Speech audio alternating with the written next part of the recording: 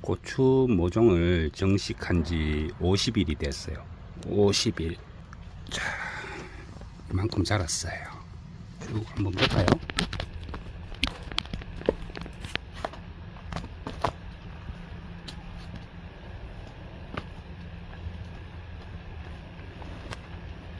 제일 베스트가 얘인지 모르겠네. 보자. 아, 이제껏 한 번도 발견을 못 했는데, 지금 잎 갉아먹는 애벌레 하나 발견했어요. 애벌레. 긴급하게. 어디 갔나? 아, 여기 있네. 이 녀석. 잡아야 되겠죠? 요거는. 잡아야지. 내려와. 또 떨어졌다. 얘들은 건드리면 떨어져. 건드리기만 하면 떨어졌는데, 어디 있는지를 찾지를 못하겠네. 요 데서 떨어졌으니까. 어디. 이 지점일 것 같은데, 얘들은 한번 떨어지면 발견을 못 하겠더라고.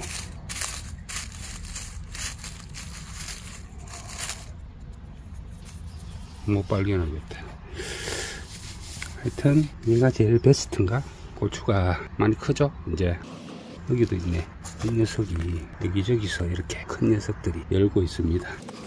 이 녀석도 베스트네. 음, 어제까지는 살이 좀 덜 붙었었는데 오늘 보니까 살이 많이 붙었네. 아직까지 손바닥만 해주려고 하면 멀었겠지만 그래도 이 정도 사이즈면은 잘 나왔죠? 뭐, 실한 녀석은 보자. 몇 분지까지 열렸나? 자, 1분지, 2분지, 3분지, 4분지, 자, 5, 6,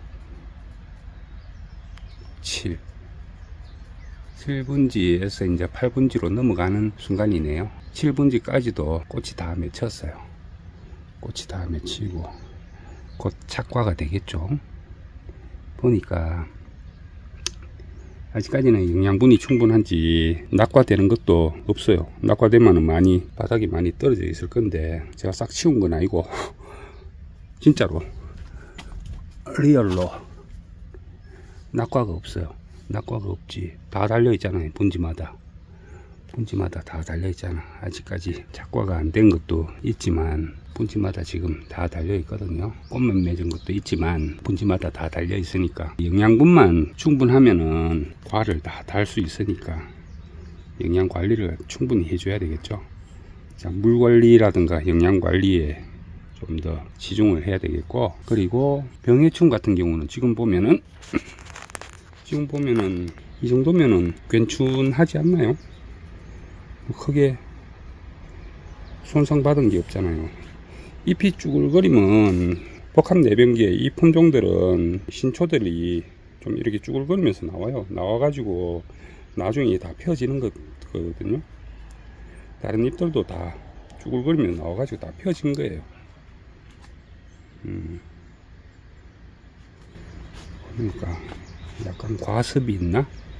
끝이 약간 끝이 약간 이렇게 하듯 보이는 거는 약간 과습이 있다는 건데 그런 게 있고 한 번씩 이렇게 진딧물이나 총체는 아이가 본 게 없고 진딧물 피해를 입은 잎들이 간혹 있어요. 특히 바깥쪽으로. 바깥쪽으로 간혹 이렇게 몇 장이 있긴 한데 이 정도면은 그냥 무난합니다. 자 여기는 거미가 아예 진을 쳐버렸어요. 하얗게. 밑에서 이렇게 보면은. 속에 보면은 이 녀석이 하얗게 안개처럼 진을 치고 아예 상주하고 있죠. 그래서 이쪽 지주대 근처 쪽에서 이렇게 거미들이 많이 서식을 하더라고요 전반적으로 그 천적들이 왕성하게 활동을 하다 보니까 조금 아까까지도 보면 무당벌레들 엄청 돌아다니고 그랬거든요. 지금 보면은 찐득이도 없죠. 찐득이도 없잖아. 이런 데 보면은. 네. 보면은 이렇게 보면은 진드기도 없어요.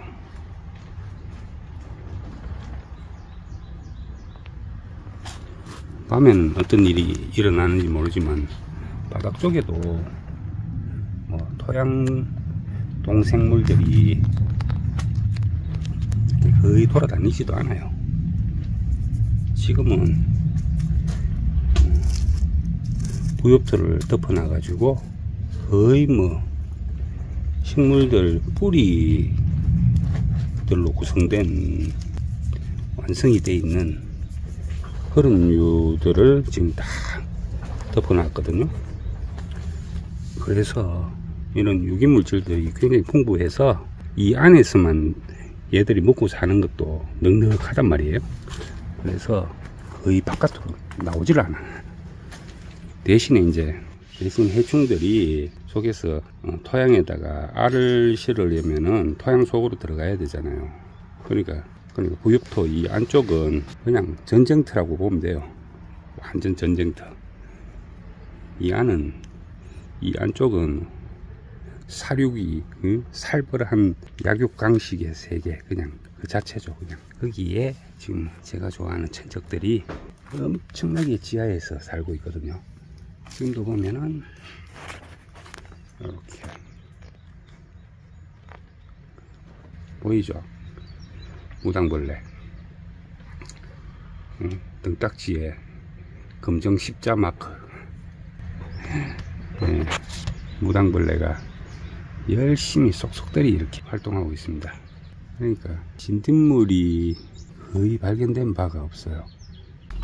그리고 노린재 같은 경우는 어, 노린재, 기피제 어, 이 녀석들을 요거를 설치를 하고 나서 어, 얘들이 거의 안 보이는 건 맞아요. 근데 솔직히 거의 안 보이다 뿐이지 전혀 1도 없는 건 아니고 특히 가장자리에 있는 그러니까 입구 쪽이죠 가장자리에 있는 고추나무나 아니면 어떤 특정한 나무를 좋아해요 그러니까 지금 요 고추나무 같은 경우에 유독히 꼭 붙어 있더라고 오전에 보면 여기만 그래요 왜? 왜? 응? 왜? 왜? 응, 응, 니잘 지키고 있나? 고추밭 잘 지키고 있어. 우리 여기는 고추밭 요 지키는 요 담당 우리 우리 깜냥 응? 휙 가버리네. 매정한 놈. 한 나무에만 좀 집중돼 가지고 발생하는 그런 경향이 있고요. 다른 데는 전혀 나타나지 않아요. 그걸 보니까 아, 또 발견했다. 달팽이 달팽이가 발견했다. 어디 갔냐? 이렇게 잎을 갉아먹고 있네. 가해를 한 지는 얼마 안 된 것 같아요. 보니까 구멍 하나 냈네 구멍. 응? 이거 정말 다른 잎들은 진짜 다 이런 말짱한데 정말 말짱하잖아요 그러니까 거의 발견이 되지 않는데 음? 여기 음? 무당벌레 딱 숨었다 무당벌레가 좀 더 컸으면 좋겠어요 아무튼 이렇게 곳곳에서 음? 다가가니까 무당벌레 엄청 많아요 자기들이 자기들 해코지 하는 줄 알고 자꾸 숨어서 그렇지 여기 봐요 보이나? 안 보일걸? 요 밑에 숨어 있죠 도망가잖아요 이렇게 숨어 다녀서 잘 안 보여서 그렇지 엄청난 무당벌레들이 지금 활동을 하고 있어요 사마귀 단계까지 오지 않아도 될 정도로 엄청나게 활동을 하고 있죠. 거미줄 근데 이건 너무 심하게 쳤는데 그것도 줘야 되나 말아야 되나 그걸 모르겠네. 너무 심하게 쳤는데 일단 내버두고. 모종을 정말 10cm 정도도 안 됐던 것 같아요. 굉장히 어린 모종을 데리고 와가지고.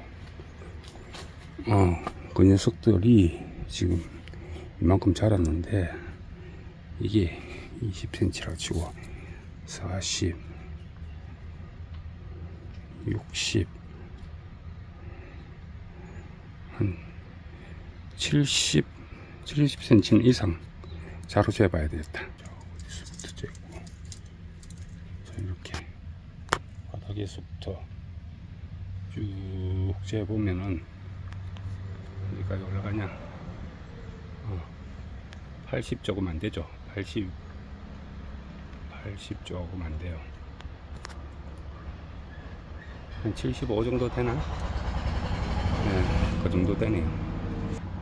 그러니까 유기농인데다가 완전 자연 유기농 그러니까 전혀 약을 사용하지 않는 제초제 일절 사용하지 않고 농약 음, 그리고 화학 비료. 화학 비료는 지금 약간 좀 고민하고 있어요. 왜냐하면 이 과가 이제 결실이 맺히고 나면은 이제 우끄럼으로 양분을 충분히 넣어줘야 되는데 특정한 어, 영양 성분이 부족할 경우가 있어요. 그럴 경우에는 유기농 자재로만 딱 커버하기는 좀 어려울 것 같으니까 1차 추비를 한 요 단계까지는 예, 그렇게 버티고 한 2차로 넘어가는 그 시기부터는 화학 비료는 조금 쓸 수가 있어요. 그러니까 어, 연면 시비를 한다든가 이럴 때는 수용성으로 물에 잘 녹는 관주용 비료가 필요하거든요. 물 비료가 필요하기 때문에 제가 딱 필요로 하는 그런 요소만으로 구성된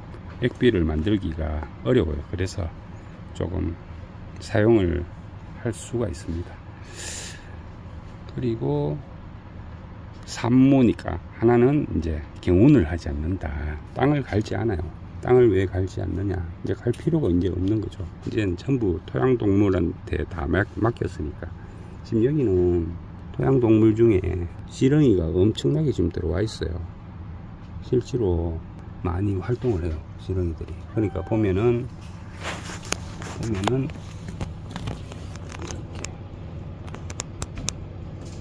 이렇게, 이렇게 분변토들이 요렇게 분변토들이 보이죠 저게 지렁이들이 똥을 싸질러 놓은 건데 저게 이 토양 안쪽에 있는 흙에서 양분을 다 취하고 나서 토양 위에다가 배설을 하는 거죠.